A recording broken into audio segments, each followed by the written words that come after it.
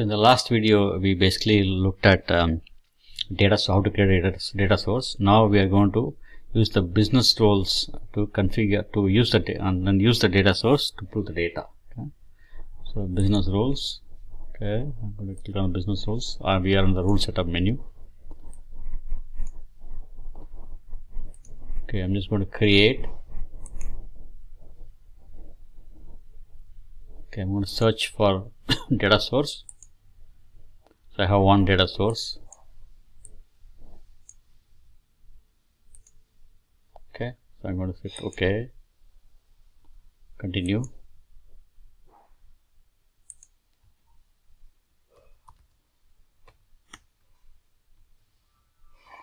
Client level changes. Okay, that's what I'm going to say. Make sure you flip this to interview. Okay, category open and close client. Change log. Okay, I'm just doing change log check. Okay, let's type changes. Okay, so now this is done. See here, it's valid from valid to next. So I just want to make sure you. I want this one change date. That's changed by I want logical system. Client. Okay those are the four things I want okay? So you, you need to understand the table structure and you need to make sure you understand what you want to track. In this case I want to look for date change and ch changed by okay? So next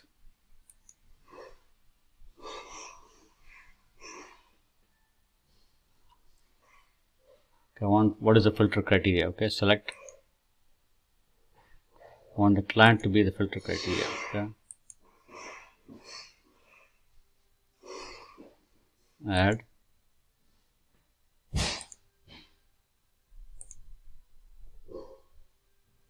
Option. Equals to let's say 800 okay. Next. Select. Hit ok.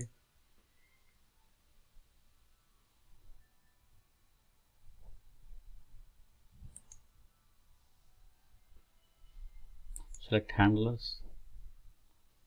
Okay I want to say su3 right? So su3 is the page change log so one last changed changed by logical system.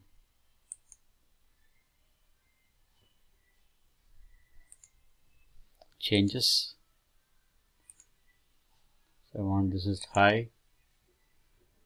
Here changes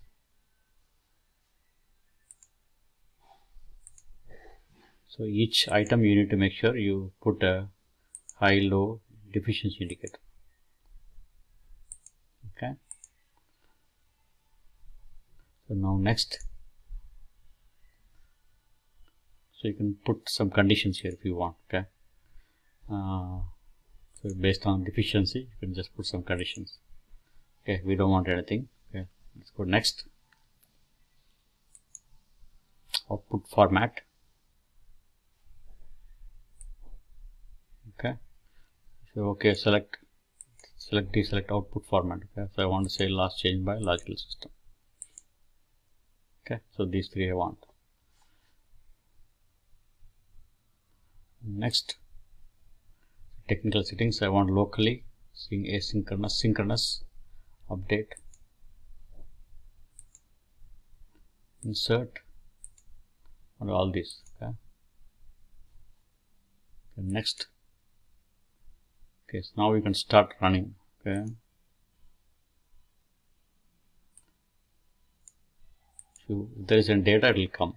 Okay. If there is no data it will not come. I know there is no data. Okay. So that is fine. Got attachments links you can just do that. If you want to uh, put some documentation on this uh, business rule you can just put that and then hit save. Okay once you're done the last step is go to change business rule.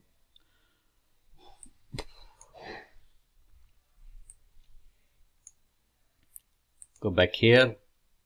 Now everything is ready so just make it active.